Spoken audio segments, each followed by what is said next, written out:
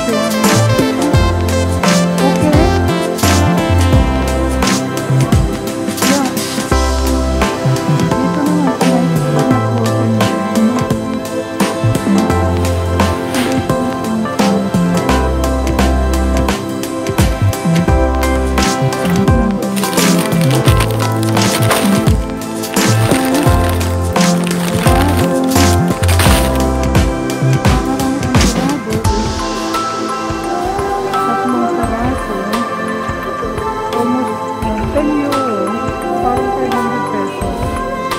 500 pesos, tatlong tatlong malalaking isda. Ito naman,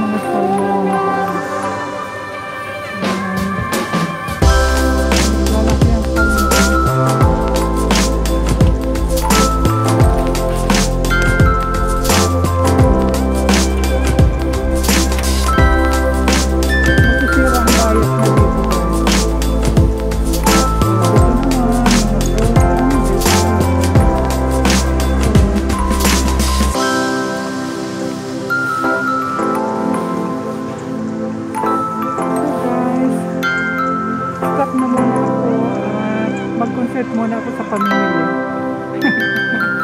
Bye-bye. Thank you for watching.